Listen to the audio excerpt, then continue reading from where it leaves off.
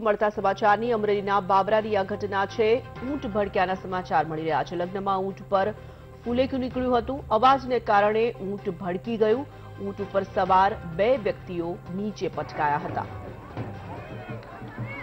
અમરેલીના બાબરાનો આ વીડિયો ખૂબ વાયરલ થઈ રહ્યો છે. આ દ્રશ્યોમાં આપ જોઈ શકો છો. લગ્નનું ફુલેકું ઊંટ પર કાઢવામાં આવ્યું હતું. વરઘોડો જ્યારે પસાર થઈ રહ્યો હતો ત્યારે ખૂબ જ જોરથી મ્યુઝિક વાગી રહ્યું હતું અને ઊંટ ભડક્યું હતું. સંવાદદાતા દિલીપ જેરુકા ફોર લાઈન પર જોડાઈ ચૂક્યા છે. દિલીપ, શું છે સમગ્ર મામલો?